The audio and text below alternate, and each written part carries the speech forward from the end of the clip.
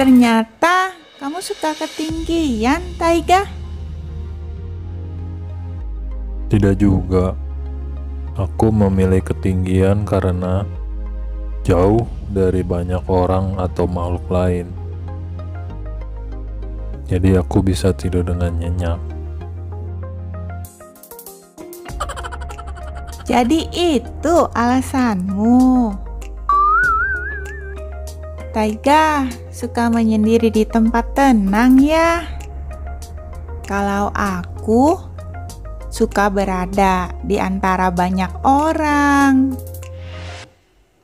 Supaya aku bisa mengajak mereka untuk terus melakukan hal yang baik. Aku tahu kalau kita punya tugas berbeda, tapi entah kenapa aku merasa nyaman bersama dengan Taiga.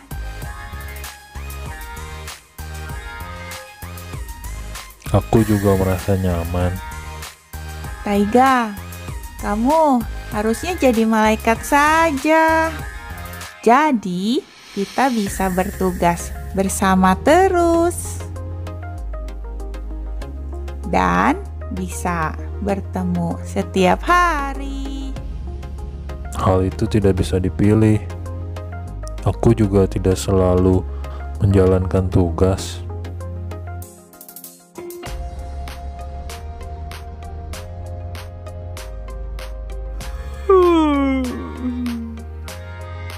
Aku mau tidur. Sudah lelap.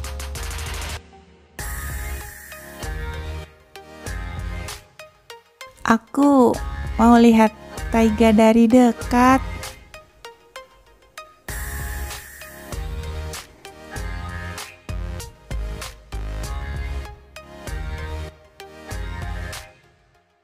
Kalau begini, terlihat jelas. Wajah Taiga sangat tampan. Lucu sekali wajahnya saat tidur.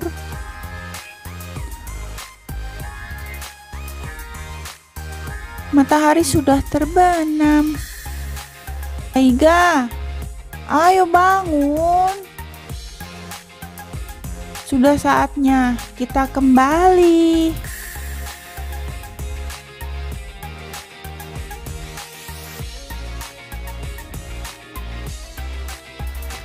Aku tidur lama ya. Maaf ya, aku harus membangunkanmu. Tidurku terlalu nyenyak. Tidak apa-apa. Aku senang bisa menemanimu. Tidak perlu khawatir. Aku baik-baik saja.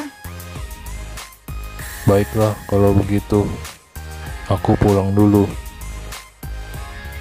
Bye-bye Taiga. Hati-hati ya.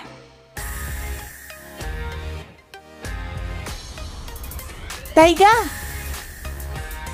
Ada apa? kita masih bisa bertemu lagi kan? Oke, Asik. Nanti aku yang tentukan tempatnya. Bye-bye Taiga.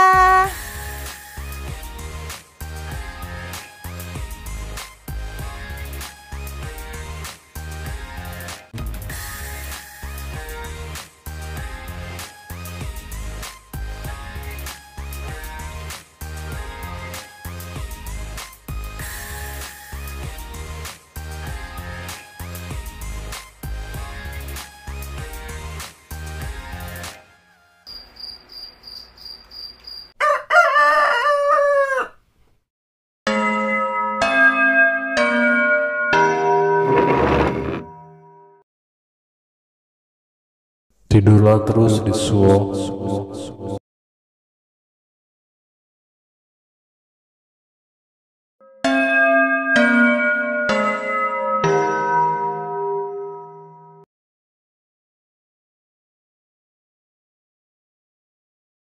tidur yang nyenyak.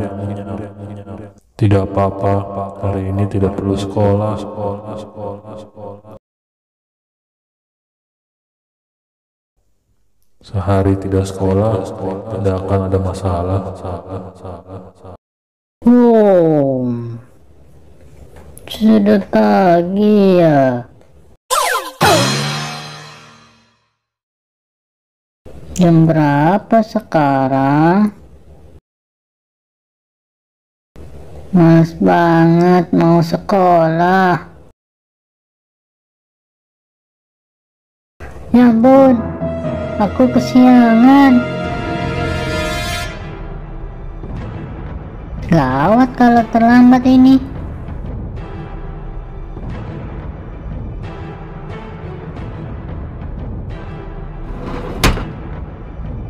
Tidak bisa sarapan.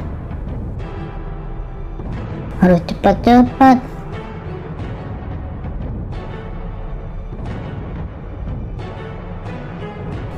Aku bisa dihukum kalau terlambat.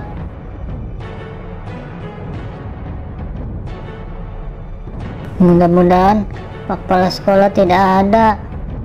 Kenapa sih sekolahku jauh sekali? Gawat, Bapak sudah berdiri di depan gerbang.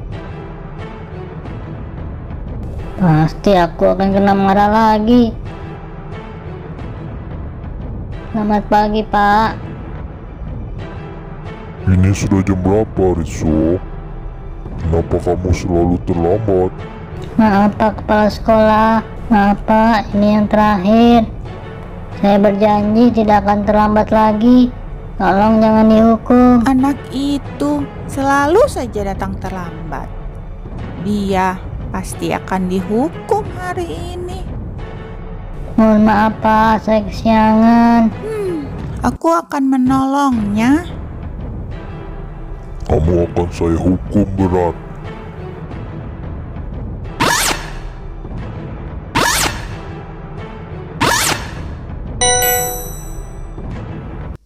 Baiklah, aku akan memaafkanmu kali ini saja. Terima kasih banyak, Pak. Saya akan bangun lebih pagi mulai besok. Anak-anak zaman sekarang sangat tidak disiplin. Masih pagi, udah membuat saya marah. Untung aja, mood saya sedang bagus. Syukurlah tidak jadi dihukum.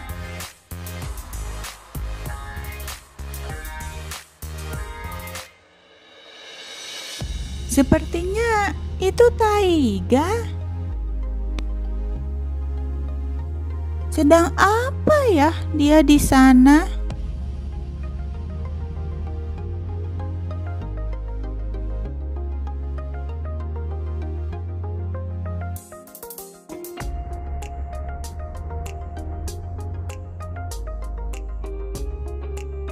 Taiga, kamu sedang apa?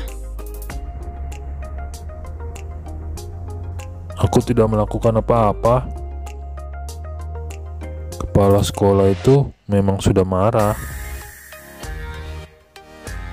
Aku tidak membuat dia untuk menghukumnya.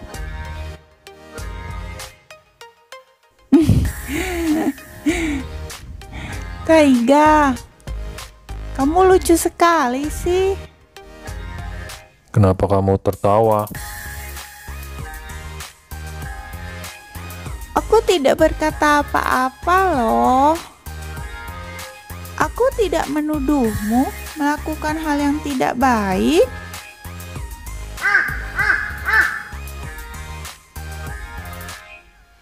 Ayo kita jalan-jalan. Aku sedang tidak mengantuk hari ini.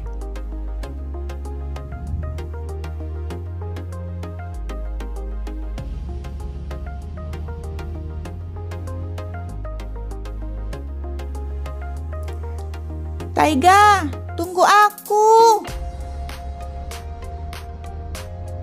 Kamu terbangnya cepat sekali sih. Maaf. Bagaimana kalau hari ini kita jalan saja? Oke, aku tidak masalah. Tapi jalannya jangan terlalu cepat ya. Aku akan mengajakmu ke tempat menarik. Aku rasa kamu akan menyukainya.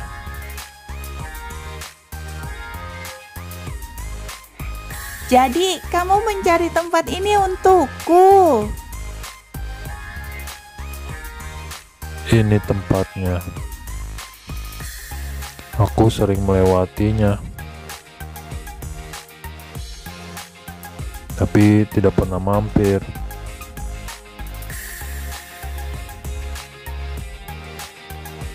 Kalau siang memang biasa saja.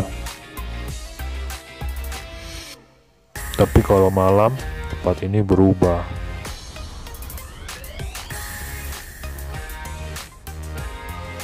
Aku akan menunjukkan sesuatu kepadamu.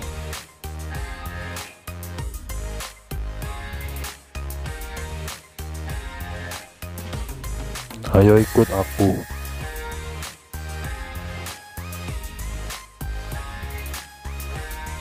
Taiga,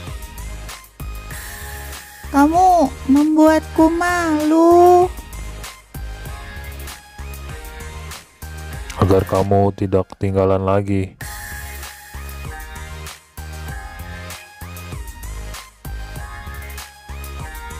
Tunggu sebentar ya.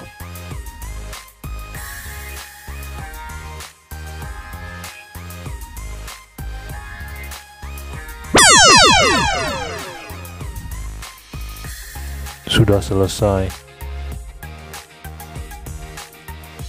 Cantiknya. Terima kasih Taiga sudah membawaku ke sini. Hmm, tempat ini memang favoritku. Jadi kamu sudah sering ke sini ya? Kadang-kadang kalau aku ada waktu, aku suka ke sini. Tempat ini memang sangat indah. Iya. Karena itu aku pikir kamu akan suka. Tapi ternyata kamu sudah sering ke sini.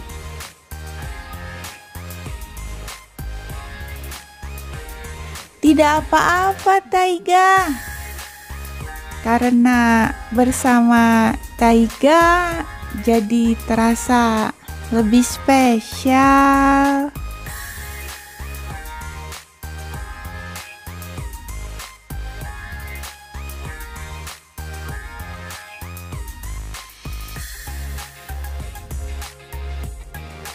Terima kasih ya Taiga sudah mengajakku ke sini. Hari ini sangat menyenangkan.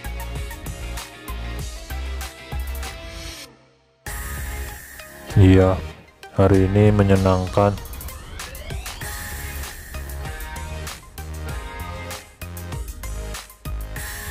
Aku senang sekali kalau berjalan-jalan dengan Taiga. Besok kita bertemu lagi ya. Kamu mau kan? Oke, Sampai besok Taiga. Aku sudah tidak sabar ingin berjalan-jalan lagi dengan kamu. Bye bye Taiga.